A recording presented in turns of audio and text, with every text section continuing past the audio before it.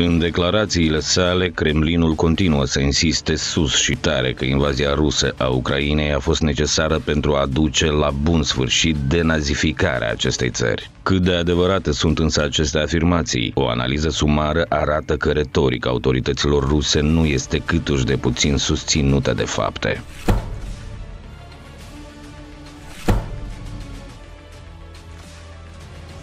Уважаемые товарищи, ваши отцы, деды и прадеды не для того сражались с нацистами, защищая нашу общую родину, чтобы сегодняшние неонацисты захватили власть на Украине. Ультранационалисты и неонацисты, захватившие власть в Киеве в результате поддержанного Западом госпереворота, развязали настоящий террор. После государственного переворота 2014 года Украина стала подвержена влиянию нацистской идеологии. Крайние формы принимает национализм. Он становится уже просто расизмом натуральным.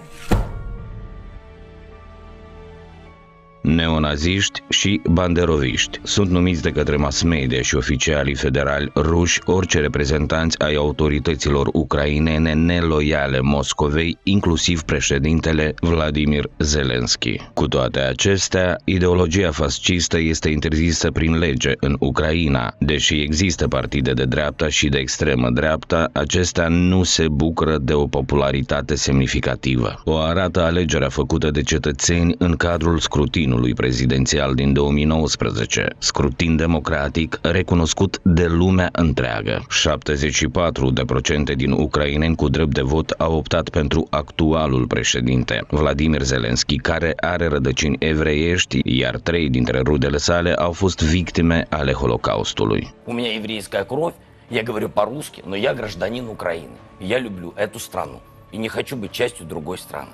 În schimb, la aceleași alegeri, așa zisele partide naționaliste și organizații radicale din Ucraina au desemnat un singur candidat, care a obținut mai puțin de 2% din voturile ucrainenilor. De simpatii naziste l-au acuzat cei de la Kremlin și pe predecesorul lui Zelensky, Petro Poroshenko. Totuși, pe durata președinției sale, prim-ministru a fost timp de trei ani Vladimir Groisman, evreu de origine. Что считаю важным дополнительно подчеркнуть. Ведущие страны НАТО для достижения своих собственных целей во всем поддерживают на Украине крайних националистов и неонацистов.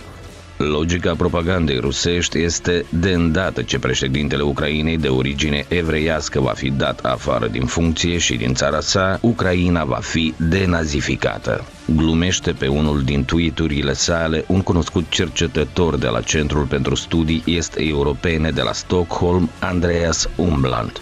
Adevărul este că sprijinul popular pentru partidele radicale din Ucraina a scăzut constant din 2012 încoace. La ultimile alegeri parlamentare din Ucraina, în 2019, fostul lider al sectorului de dreapta, Dmitro Iaroș, și-a pierdut locul în Parlament. Acum 10 ani, la alegerile pentru Rada Supremă, partidul de dreapta, Libertatea, obținuse peste 10% din voturi. La alegerile din 2014, toată coaliția de partide naționaliste și de dreapta a reușit să obțină abia 6%, pentru ca deja în 2019 aceeași coaliție să se bucure de susținerea a numai 2% din electorat. Astfel, Svoboda are doar un singur mandat în actuala radă. Așadar, partidele radicale de dreapta autentice nu au câștigat niciodată alegerile în Ucraina.